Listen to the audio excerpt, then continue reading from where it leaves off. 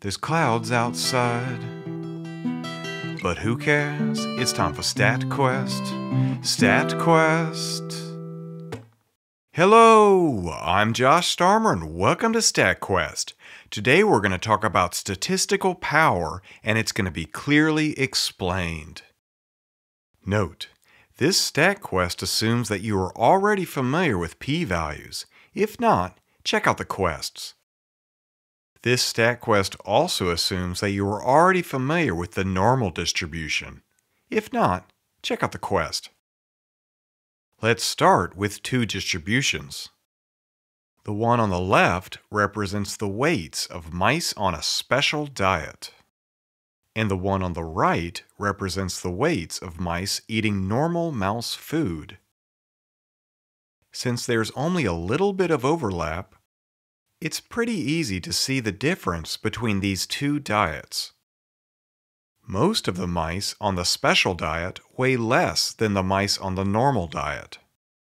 And if we collect a small set of measurements from the special diet and another small set of measurements from the normal diet, and plot these points on a graph and compare their means, then, in this case, we'll get a p-value equal to 0.0004. And this small p-value, less than 0.05, would cause us to correctly reject the null hypothesis that both sets of data came from the same distribution. In other words, if this distribution, which is somewhere between the special and normal diets, said, all, all data, data, comes, comes from, from me. me then the small p value would say, in a loud and confident voice, I reject your hypothesis. If we repeated this experiment a bunch of times, there's a high probability that each statistical test will correctly give us a small p-value. In other words, there is a high probability that the null hypothesis that all of the data came from the same distribution will be correctly rejected. But every once in a while, we will get something like this, where the data overlap.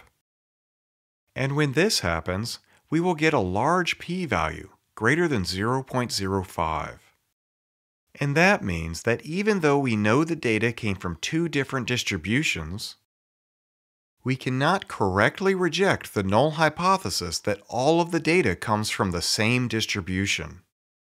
So the large p-value says, in a very small and meek voice, Dang, I can't reject the null hypothesis. That said, because these distributions are so far apart, and there is so little overlap, the probability of correctly rejecting the null hypothesis is high. Power is the probability that we will correctly reject the null hypothesis. Alternatively, you could say that power is the probability that we will correctly get a small p-value. In this example, because we have a high probability of correctly getting a small p-value and rejecting the null hypothesis, we have a large amount of power. Bam!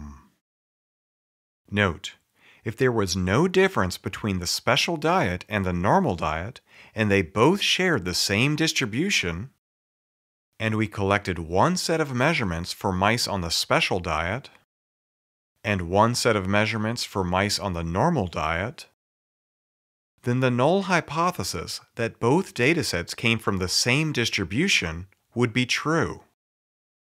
In this case, there is no such thing as correctly rejecting the null hypothesis.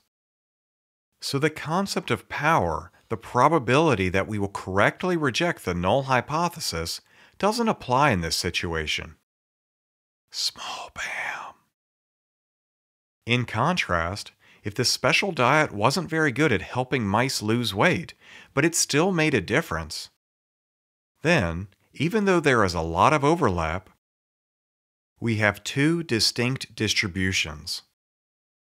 And that means power, the probability that we correctly reject the null hypothesis, applies. if we were to weigh three mice on the special diet and three mice on the normal diet, and plot these points on a graph and compare their averages, then, in this case, we will get a p-value equal to 0.34.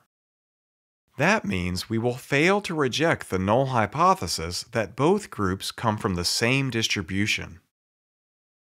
This is a bummer because, in this case, we know the data comes from two different distributions. And when we repeat this many times, most of the time we will get a large p-value and fail to reject the null hypothesis. However, every once in a while we will get something like this, where the data do not overlap. And we will correctly get a small p-value. When this happens, even though the null hypothesis says, all, all data, data, comes, comes from, from, me, me. the small p-value will say, in a loud and confident voice, I reject the null hypothesis. So, out of all these tests, this was the only one that gave us a p-value small enough that we correctly rejected the null hypothesis. And that means when there is a lot of overlap between the two distributions and we have a small sample size, we have a relatively low power. Medium BAM! The good news is that we can always increase power by increasing the number of measurements we collect. And a power analysis will tell us how many measurements we need to collect to have a good amount of power. Shameless self promotion. We'll talk more about how and why we can increase power in the StatQuest on power analyses. BAM! In summary, power is the probability that we will correctly reject the null hypothesis. When we have two distributions that have very little overlap, we will have a lot of power because there is a high probability that we will correctly reject the null hypothesis. However, when the two distributions overlap a lot, and if we have a small sample size, we will have a small amount of power. However, if we want more power, we can increase the sample size. Lastly, a power analysis will tell us how many measurements to collect to have a good amount of power. Double BAM! Hooray! We've made it to the end of another exciting StatQuest. If you like this StatQuest and want to see more, please subscribe. And if you want to support StatQuest, consider contributing to my Patreon campaign, becoming a channel member, buying one or two of my original songs or a t-shirt or a hoodie, or just donate. The links are in the description below.